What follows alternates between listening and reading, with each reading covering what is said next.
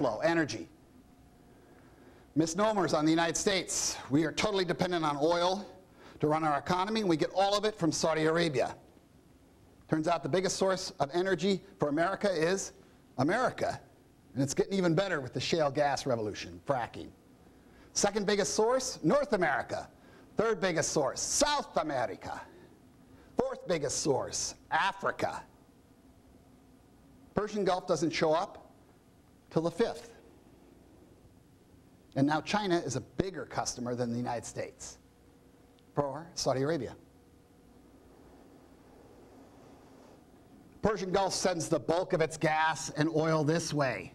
China, Asia sucking up oil and gas from Africa, coal and gas from that part of the world, oil and gas from both Americas, oil and gas from Russia. I mean, there graphically is kind of where globalization has gone. It's centered there in terms of energy. The Europeans draw from their traditional places. Russia, big exporter on nukes. Point of this slide, Asia is the new global demand center. World revolves around Asia. That means Asia's got to buy from everywhere, get along with everywhere, or suffer its instabilities. Not an advantage. We look at this somehow as an advantage for the Chinese. This is the same terrible burden we had for a long time. But it's not unnatural facing that burden to build carriers and do other things. Whether that's appropriate for the future security threat environment, I could make a different argument, but the instinct is correct. Why are we getting all this energy consumption? Today, the world is half rural, half urban. In terms of the global population, that's 3.3 billion in the countryside, 3.3 billion in the cities. 2050, look what happens. We decrease that number, we keep that number, and then how about we double it in 40 years? We take about 6,000 years to get the first 3 billion, and we're going to do the next 3 billion in about 400, or excuse me, 40 years.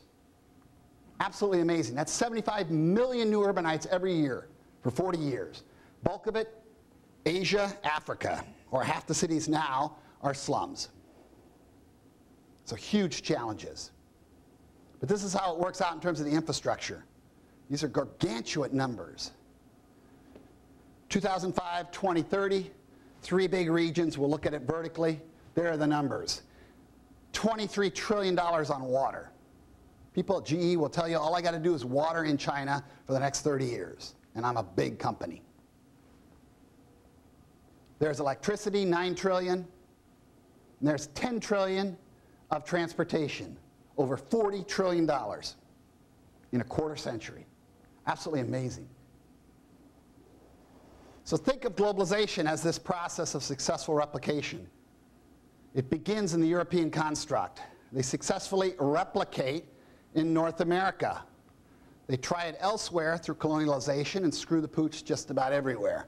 We succeed. Why? We snapped it off as early as possible.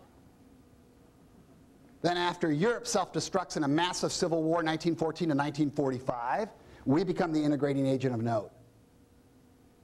And wars attached to that process. Defeated Japan, um, Korea, Vietnam. How attached and how useful the wars are, another question. But wars tend to accompany the process because there is tremendous churn. So when you ask yourself, who's going to take care of the rest of my gap, you're looking at three different contenders, but they're three different points in history. My favorite example, using the car industry, automobile, French word, German invention. 20th century, America.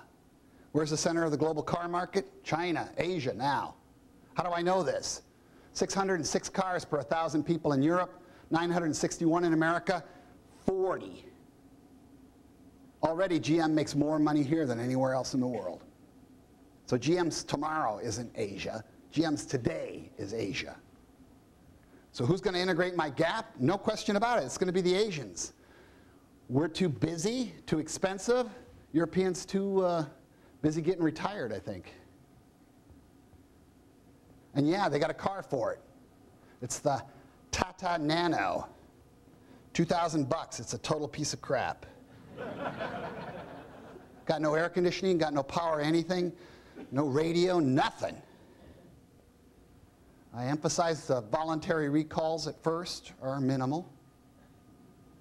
But if you're driving a motorcycle in a developing country with your wife on the back, your two kids, and a chicken, For a couple of grand, this is amazing.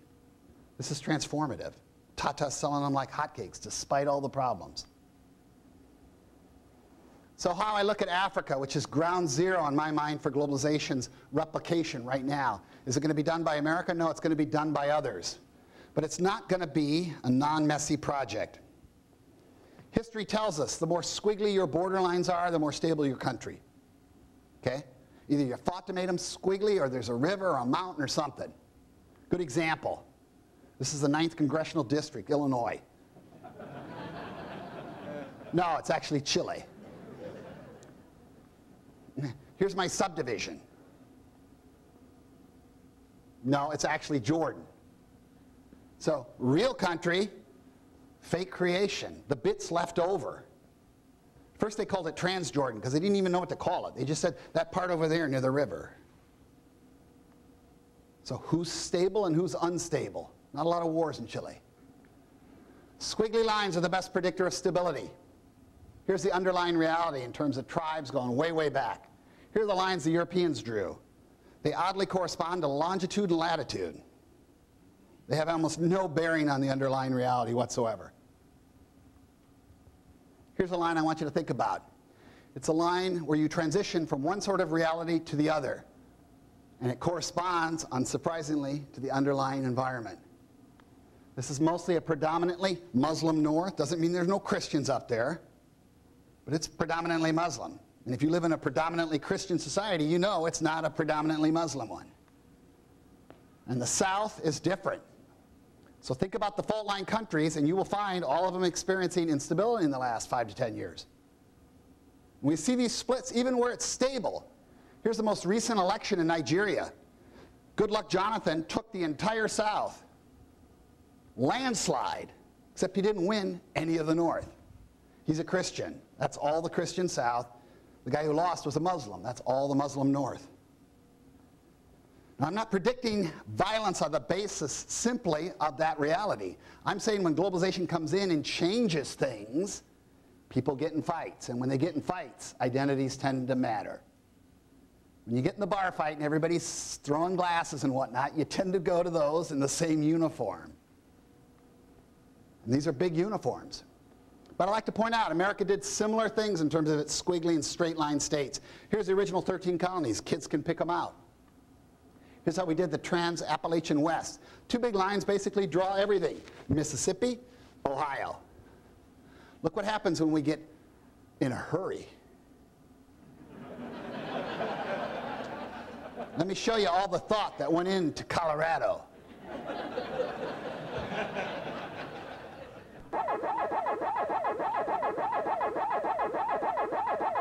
Yeah, a lot of thought. Sure, the Native Americans appreciated it. The trick, 1870s America. We were the China of our age. We're exporting beer to Germany, just like the Chinese are exporting tequila to Mexico right now. We were a with it rising country. Everybody was afraid of us. We were the future. But we had to integrate this crazy West at the same time. Okay? So not only are we the China of the future, building the biggest, coolest things like the Brooklyn Bridge, engineering marvel of its age, building it right through our centennial, 1876. Two weeks earlier, Custer buys it in Little Bighorn, in our federally administered tribal area. Place so dangerous, we can't even send our military there. Where have you heard that line? So we're not just the China of our age, we're the Pakistan of our age. And I guarantee you, if Crazy Horse can get on a plane and fly to London and blow himself up, boy, that's a different America in terms of its relationship with the outside world. So these are not new things. These are sped up things, but they're not new. So here's how things are going to happen in Africa. Sometimes it works out, sometimes it doesn't, but this is the basic idea. You got straight line countries. Globalization comes in. Things start to break up. Who wants out of the relationship? Always the most ambitious. Who wanted out of Iraq? The Kurds. Who wanted out of the Balkans? The Slovenes and the Croatians. They wanted to get rid of the losers, cut their own deal with the outside world. I want a divorce. If it goes badly, you start fighting over the kids. That's called ethnic cleansing. If you're lucky, you get a good lawyer. Manages the process, keeps the violence from getting too bad, you start reconnecting politically over time like they have in the Balkans. Why are they connected now in the Balkans? The vast bulk of the trade with every country is with all their neighbors. So of course they have to get along after a while. How you jump the chasm, historically single party models. So don't wish for democracy too fast. Wish for a middle class before. Understand we get called in when things go bad on this side, and guess who shows up when things start getting good on the other side? That is a silent partnership, an LLC that we don't like to talk about. But we got it right now in Africa. We're interested in the pol-mil, they're interested in the stuff. There's the logic that we're going to have to pursue over time.